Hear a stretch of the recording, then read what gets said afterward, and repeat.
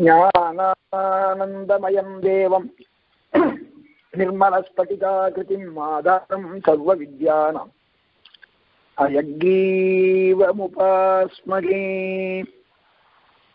श्रीलक्ष्मीवल्लभारम्भां विकनो मुनिमध्यमाम् अस्मदाचार्यपर्यन्तां वन्दे गुरुपरम्परामङ्गनिरुमदिपुडशूलयोद्धियन्नम् என்னும் அணிமகளத்தோர் அனைத்தும் விளக்கும் ஜோதி வெங்கதிரோன் குலத்திற்கோர் விளக்காய் தோன்றி விண்முழுதும் உயர்கொண்ட வீரன் தன்னை செங்க நெடும் கருமுகிலை ராமன் தன்னை தில்லை நகர் திருச்சித்திரகூடம் தன்னுள் எங்கள் தனி முதல்வன் எம் பெருமான் தன்னை என்று கொலோ கண்கொழிரக் காணுனாளே.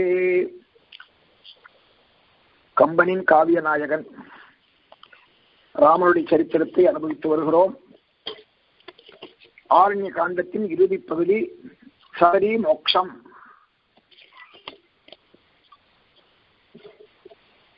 சபரி மோக்ஷம். ராமாயணத்திலே ஒரு முக்கியமான இடத்தை பெறுகிறது. பொதுவாக அதிகமாக பெண்கள் மோட்சத்தை பற்றி நமது பெரியவர்கள் பேசவில்லை. ஆனால் ராமாயணத்திலே பாலகாண்டத்திலே எல்லோருடைய கவனத்தையும் கவர்வது அகல்யா சாப விமோச்சனம் ஆரண்ய காண்டத்திலே சபரி மோக்ஷம் கிஷ்கிந்தா காண்டத்திலே வாலி மோக்ஷம் இப்படியெல்லாம் பல கருத்துக்கள் சமுதாயத்திலே நிலவுகின்றன.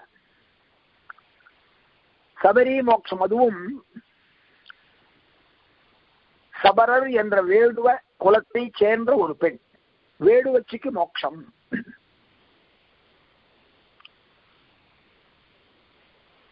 எம்பெருமானுடைய அருளை பெறுவதற்கு எத்தனையோ வழிகள் இருக்கிறது. சவணம் கீர்த்தனம் ஸ்மரணம் பாத சேவனம் அர்ச்சனம் வந்தனம் தாஸ்யம் சக்கியம். ஆத்ம நிவேதனம் என்று எம்பெருமானுடைய பெயரை கேட்டல் எம்பெருமானுடைய பெயரை உச்சரித்தல் நினைத்தல் அவருடைய திருவடியை தொழுதல் திருவடிக்கு பூமாலை சூட்டுதல் வணங்குதல் தொண்டு செய்தல் இணையான தோழமை கொள்ளுதல் தன்னையே ஒப்படைத்தல். இப்படி அதிலே எதாயு மோட்சம் என்று சொல்லும் பொழுது அவர் தன்னையே ஒப்படைக்கிறார் என்று பார்க்கிறார்கள். சபரி பூஜாயாம் சபரி. சபரியா பூஜித்த சம்யக்கு என்று சொல்லுகிறார். நன்றாக பூஜை செய்தவள். எனவே சபரியினுடைய பூசை அவள் செய்த அர்ச்சனை காமபிரானுடைய கைங்கரியத்திலே மிகச்சிறந்து விளங்குகிறார். அதற்கு முன்னாலே கவந்த வனம் கவந்த வனத்துக்கு செல்வதாக பார்த்தோம். இருப்பினம் கடையுரையானையே முதல் உருப்புடை உயிரெல்லாம் உழைந்து சாய்ந்தன எறும்பிலிருந்து யானை வரை அத்தனையும் கபந்தன் என்று சொல்லக்கூடியவனுடைய கைகளுக்குள்ளே அடங்கி விடுகின்றன. அவன் கை நீளமான கை. பல மயில்கள் பரவி இருக்கும் கை.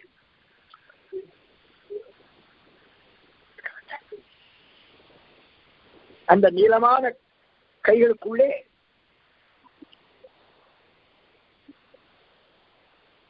எது எது அகப்படுகிறதோ அதையெல்லாம் அவன் இணைத்துக் கொண்டு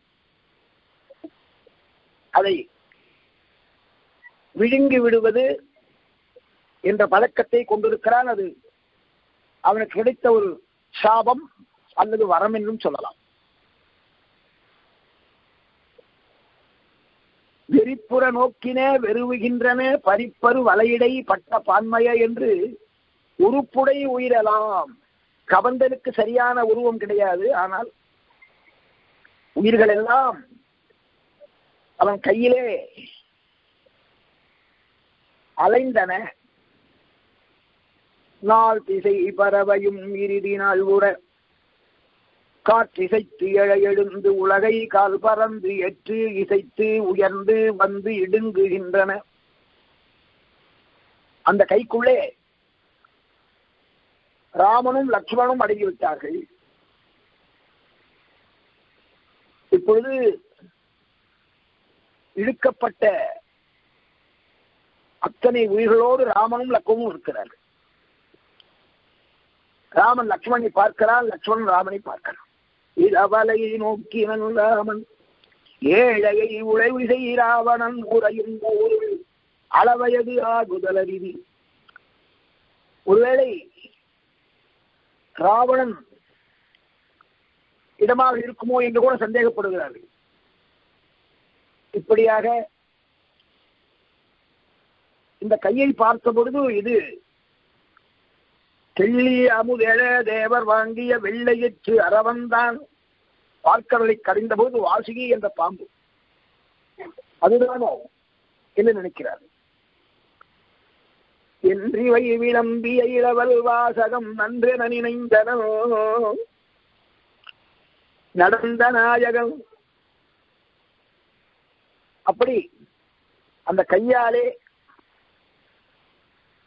உள்ளே வாங்கப்பட்ட ராமன் உள்ள குவரும் இப்பொழுது கபந்தனை நேரடியாக பார்க்கிறார். கபந்தன் எப்படி இருக்கிறான் தெரியுமா? எயிற்று இடைக்கு இடை காதம் இரு காதம். ஒரு பல்லுக்கும் இன்னொரு பல்லுக்கும் இடையிலே இரண்டு காதம். ஈண்டிய வயிற்றிடை வாயனும் மகரவேலயன் கலர் போல வாய் வயிற்றிடை வாய். உயர்வரம் இருகுடையும் வாங்கலில் தெய்வமத்தினை பூண்டு நீண்டன கிடந்தன நிமிர்ந்த கையினான் வாசுகி என்ற பாம்பை போல கை இருக்கிறதா? திங்களை இரண்டு கூறிட்டன இலங்கு எயிற்றினான். சந்திரனை இரண்டாக பிளந்தது போல பல் இருக்கிறதாம்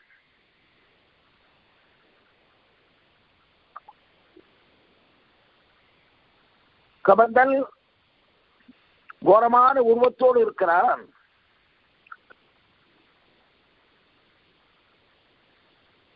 யமனைப் போல அவன் வாயை திறந்து கொண்டிருக்கிறான். கையானது கொஞ்சம் கொஞ்சமாக வாய்க்கு அருகிலே வந்து கொண்டிருக்கிறது. காலநேமியை பொறும் கவர்ந்த காட்சியான் தலையை நீக்கிய காலநேமி தலையில்லாத முண்டம். அருகிலே சென்ற பொழுது ஆச்சரியப்படுகிறார்கள். அறக்கர் தொல்மதில் ஊர் புகுவாயிலோ இது வாயாக இருக்கவில்லை வாயிலாக இருக்கிறது.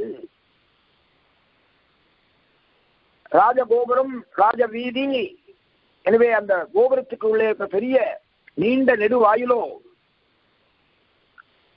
ஒரு பூதம் என்ன செய்யலாம் என்று ராமனும் லட்சுமணும் யோசிக்கும் பொழுது ராமன் கூறுகிறார் தோகையும் பீரிந்தனள் என்னை துஞ்சினல் வேகவும் பயிது மந்துழல வேண்டலே.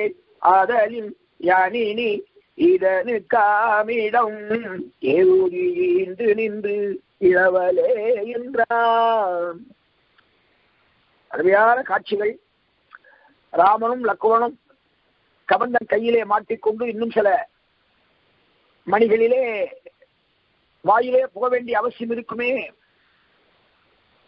எனவே அப்போது ராமன் லட்சுமணை பார்த்து ஏகுதீண்டு நின்று இளவலே நீ சென்று விடு.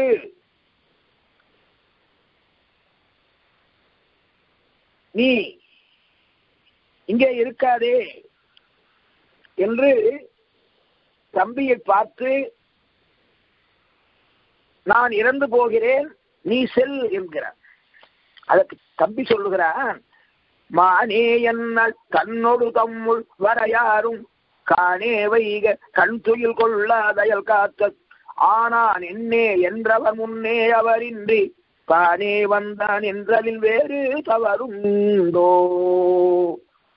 சீதையும் ராமனும் நானும் மூன்று பேராக வந்தோம். காட்டிலே கண்மூடாமல் காவல் காப்பான் என்று என்னை எண்ணிக்கொண்டிருக்கிறார்கள். அப்படி இருக்கும்போது நான் தனியாக செல்வேனா? என் தாய் உன்முன் ஏவிய யாவும் இசையின்னல் பின்றாதெய்தி பேரிசையாள கழி உண்டேல். பொன்றா முன்னம் பொன்றுதி என்றால் உரை பொய்யா? நின்றாள் என்றோ நிற்பது வாய்மை நிலையம்மா. பொன்றா முன்னம் பொன்றுதி. சுமத்திரை லட்சுமி தாய். முன்னம் மொழி பின்னம் வா. ராமன் வந்தால் வா. அவனுக்கு ஆபத்து இருந்தால் முதலிலே நீ இறந்து போக வேண்டும் என்று சொன்னாலே இப்படி சொன்ன பொழுது லக்ஷ்மணும் ராமனும் ஒருவருக்கொருவர் தியாகம் செய்து கொள்ள நின்ற பொழுது அந்த சமயத்திலே பார்க்கிறார் அண்ணா இவன் கையை துணித்து விடுவோமே. பிணிக்கும் கையும் வெய்பிலவாயும் பிழையாமல் துணிக்கும் வண்ணமும் காணொதி. நாம் அழிந்து போவதை விட இவனை அழிப்போமே என்று சொல்லி இருவரும் கவந்தனை எதிர்த்து போரிடுகிறார்கள். அழிந்துளார் அலர் இகழ்ந்தர் என்ன என்று அழன்றான் புரிந்த கோபத்தன் புது பொறி மயிர்புறம் பொடிப்ப விடுங்குவேன் என விங்களும் விண்ணுற வீரர் எழுந்த தோள்களை வாழ்களால் அறிந்தனர் இத்தா கபந்தனுடைய தோள்களை அறுக்கிறார்கள். கபந்த பாகு சேதன ராம. நாமராமாயணத்திலே கபந்த பாகு சேதன ராம. கைகள் அழுகப்பட்டது கைகளற்று வெங்குருதி. ஒழுகிய கவந்தன் ரத்தம் கொட்டுகிறது. திடீரென்று அவன் உருமாறுகிறான் விண்ணில் நின்றவன் விரிஞ்சனே முதலால் யாருக்கும் கண்ணில் நின்றவன் இவன கருத்துண உணர்ந்தான். ராமனுடைய கைகளாலே லட்சுமணும் ராவனும் சேர்ந்து கபந்தனுடைய கைகளை வெட்டிய உடனே கபந்தன் உருவமற்று இருந்தவன்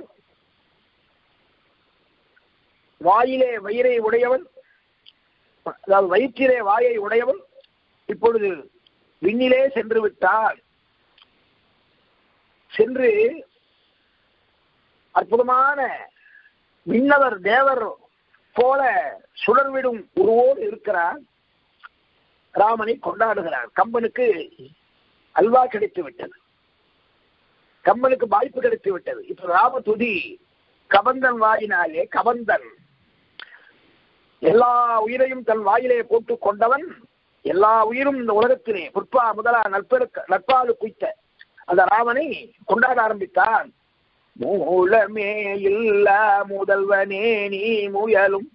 கோலமோயாக்கும் தெரிவறிய கொள்கையால் மூலமே இல்ல முதல்வனே நீ முயலும். கோலமோயாக்கும் தெரிவறிய கொள்கையால் ஆலமோ ஆளி நடைவோ அடைக்கிடந்த பாலனோ வேலை பரப்போ பகராய ஆலமோ ஆளின் அடையோ அடைக்கிடந்த பாலனோ வேலை பரப்போ பகராயே. நீ ஆலமரமா?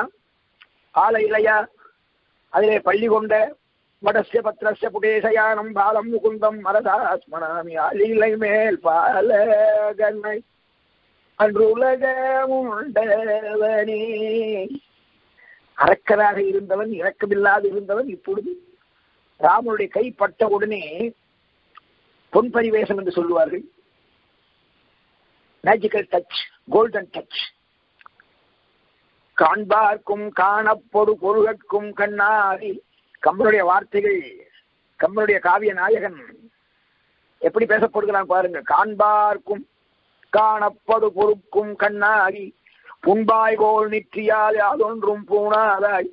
மாண்பால் உலகை வயிற்றொழித்து வாங்கிடியால் கம்பன் வேடிக்கையாக சொல்லுகிறான். எம்பெருமானே நீயும் கபந்தன் போல்தானே எல்லோரையும் வயிற்றிலே போட்டுக் கொள்கிறாய் அன்பால் உலகை வயிற்று ஒழித்து வாங்குதியால் ஆண்பாலோ பெண்பாலோ அப்பாலோ எப்பாலோ? வார்த்தை சரளமாக எளிதாக ஆண்பாலோ பெண்பாலோ அப்பாலோ எப்பாலோ ஆணல்லல் பெண்ணல்லல் அல்லா அலியுமல்லன் கோணையை பெரிதுடைத்து நம்மாழ்வாருடைய அடிவொற்றி குறுகை நாதன் குறைகடல் காப்பதே என்ற நிலையிலே. ஆதிப்பிரமணம் நீ ஆதி பரமும் நீ ஆதி எனும் பொருளுக்கு அப்பால் உண்டாகிலும் நீ. அப்பால் உண்டாகிலும். இருக்கதா இல்லையா? அங்கே அதன் விவாதத்துக்குள்ளே போகவில்லை. இருந்தால் அப்பால் உண்டாகிலும் நீ. சோதி சுடர் பிழம்பினி வேதம் குறை செய்தால் வெல்காரோ வேலுள்ளர். எந்திகையும் தின்சுவரா எழிலை நிலவகுத்தல். அண்ட பெருங்கோயிற்கெல்லாம் அழகுடைய மண்டலங்கள் மூண்டின் மேல் என்றும் மலராத புண்டரீகமுட்டின் பொருட்டே குறையம்மா. மூலக்கிழங்கே தனி முதல் வித்தே என்றெல்லாம் கொண்டாடுகிறார். நின் செய்கை கண்டு நினைந்தனவோ நீள்மலைகள் உன் செய்கை என்னவைதான் சொன்ன ஒழுக்கினவோ. வேதம் சொல்லும்படி நீ செய்கிறாயா? நீ சொல்லும்படி வேதம் செய்கிறா என் செய்தேன் முன்னம் மரம் செய்கிறார் பின் செல்வது இல்லா பெருஞ்செல்வம் நீ தந்தாய். நீங்காத செல்வமாக வைத்தமா நிதியாக இருக்கும் பெருமானே மாயப்பிறவி மயல் நீக்கி மாசுலா காயத்தை நல்கி துயரின் கரையேற்றி. பேய் ஒத்தேன் பேரை பிணக்கருத்தையும் பெருமான். நாய் ஒத்தேன் என்ன நலம் இழைத்தேன் நான் என்றா நான் ஒண்ணுமே செய்யலையே.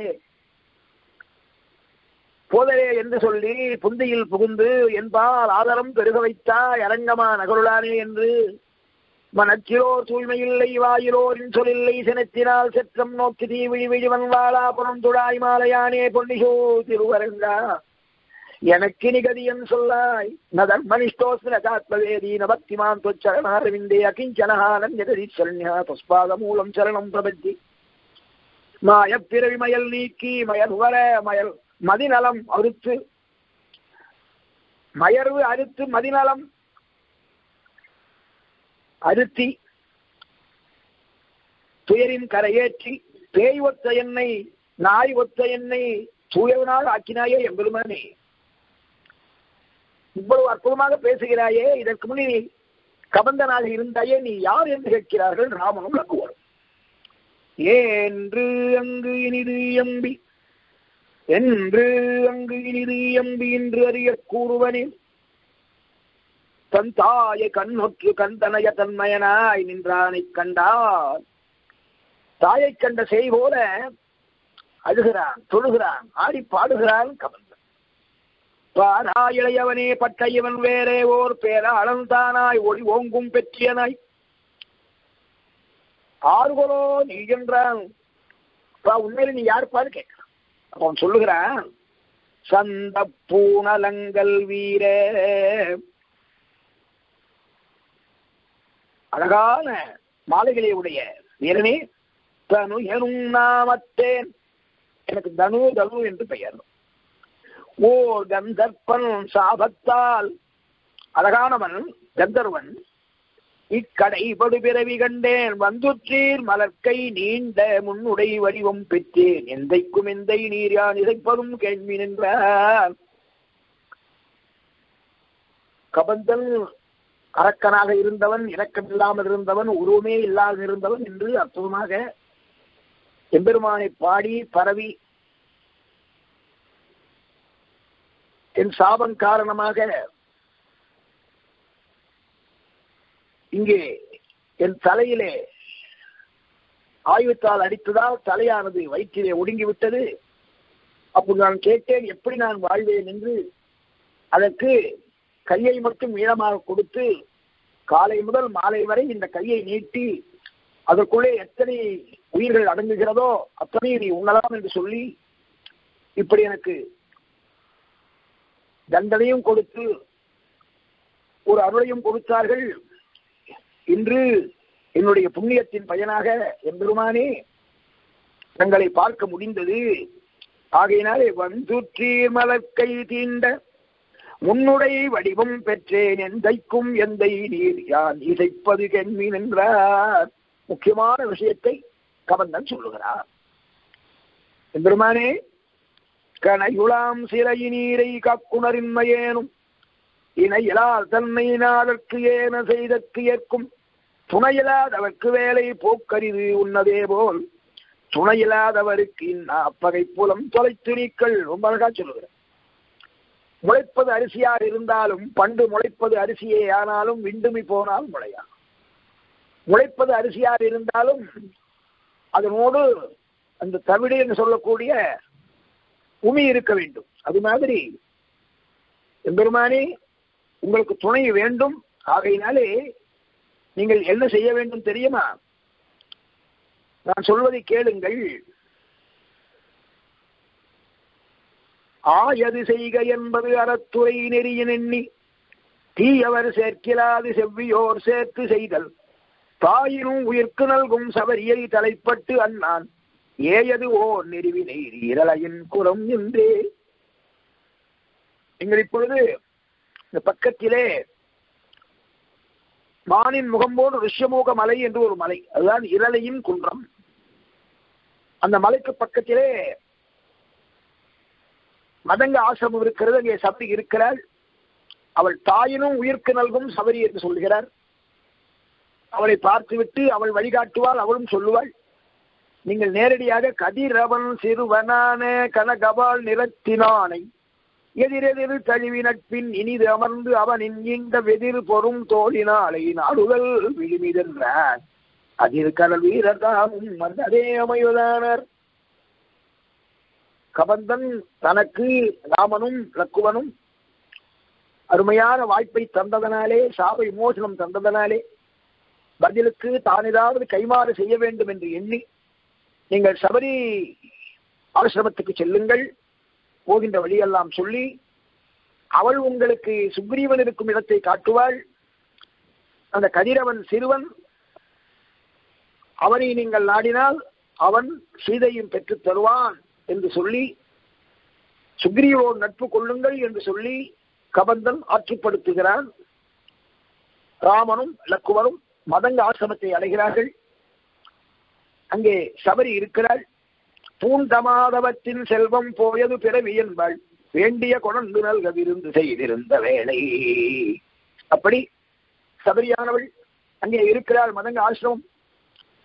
ஒரு காலத்திலே மதங்கர் இருந்த பொழுது சபரி என்ற வேடு வச்சு தீண்டத்தகாதவராக அந்த காலத்திலே கருதப்பட்ட காரணத்தினாலே முனிவர் கண்ணிலே படாமலேயே முனிவருக்கு வேண்டிய தொண்டுகள்லாம் செய்து பெருக்கி மூழ்கி கோலம் போட்டு பூக்கள் படித்து வைத்து எல்லாம் செய்வாள்.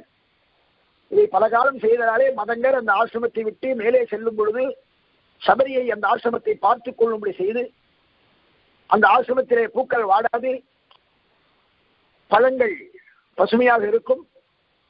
எனவே அப்படிப்பட்ட அந்த ஆசிரமத்தை ஒப்படைத்து ராமன் வருவான் அருள் செய்வான் சொல்லிவிட்டு சென்றார். இப்பொழுது சபரி அங்கே காத்துக் கொண்டிருக்கிறார். ராமன் எப்போது வருவான்? ராமன் வருவான் தேவாதி தேவனை சேவிக்க வேண்டுமே என்று காத்துக் கொண்டிருக்கிறார்.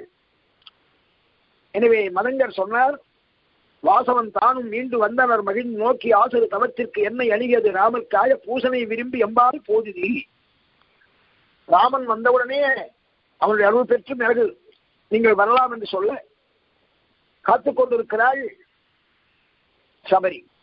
இருந்தனன் எந்த இங்கு எய்தில் என்னும் தன்மை பொருந்திட இன்றுதார் என் புண்ணியம் பூத்ததென்ன தரிசி தன்னை அன்புல நோக்கி எங்கள் வரும் துயர் துயரம் தீர்த்தாயம் அம்மனை என்றார் இப்படி சபரி சச்சுசா தவ சௌமியேன பூதாஸ்மி ரகுநந்தனன்.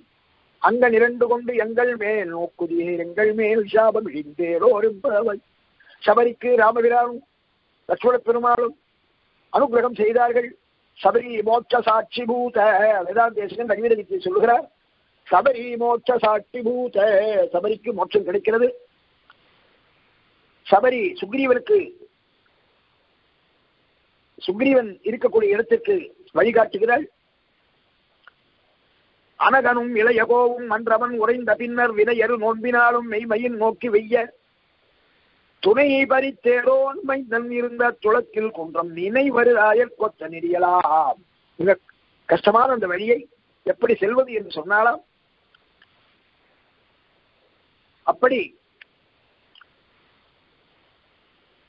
சபரி என்பவள் அற்புதமான நிலையை அடைய அவள் சொன்னபடி அன்னவள் கலரிச்செல்லாம் கேட்டனன். அப்படியே சபரி மோட்சம் அடைகிறாள் ராமனும் லக்குவனும் சுக்ரீவன் இருக்கும் இடத்தை நோக்கி செல்கிறார்கள் இதை அப்படியாக அற்புதமாக கம்மன் சொல்லுகிறான். பின் அவள் உழந்து பெற்ற யோகத்தின் பெற்றியாலே தன்னுடல் துறந்துதான தனிமையின் இருது சார்ந்தாள். அன்னது கண்ட வீரரசயமளவின் ரெய்தி பொன்னடி கழகலாற்ப புகன்றமா நெறியில் போன. இப்படி சுக்ரீவனுக்கு கூடிய ரிஷிமுக பர்வதம் என்று சொல்லக்கூடிய அந்த மலைக்கு செல்லக்கூடிய வழியை சபரி சொல்லிவிட்டு அவள் மோட்ச உலகத்தை அடைகிறாள். அப்படி சுக்ரீவனால் தனக்கு நன்மை கிடைக்கும் என்று எண்ணிக்கொண்டு சுக்ரீவனை அடைவதற்கு காட்டிய வழியை தெரிந்து கொண்டு அப்படியே ராமனும் லக்குவனும் கடவுள் செல்லுகிறார்கள் தன்னரும் காணும் குன்றும் நதிகளும் தவிர போனார்.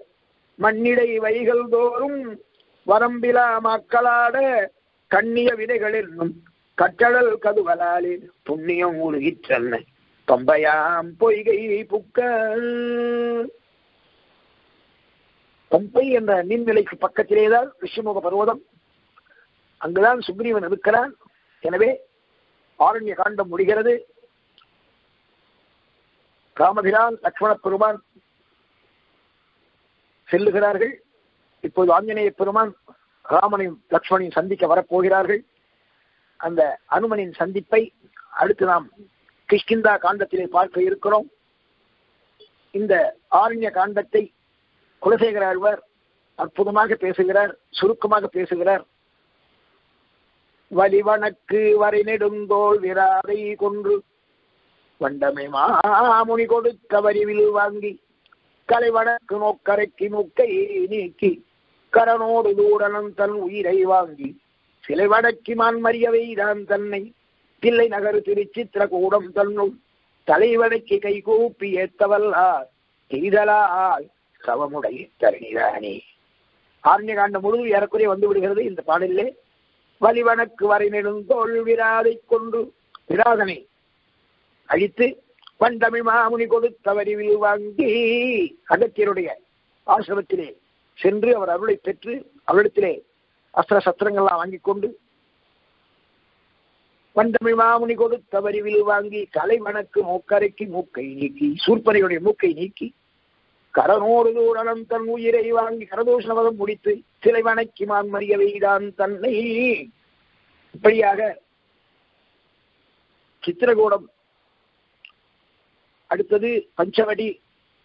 இப்படி பல இடங்களிலே ராமபிரான் சஞ்சரித்துக் கொண்டு இப்பொழுது ரிஷிமுக பருவத்தை நோக்கி சென்று கொண்டிருக்கிறார்.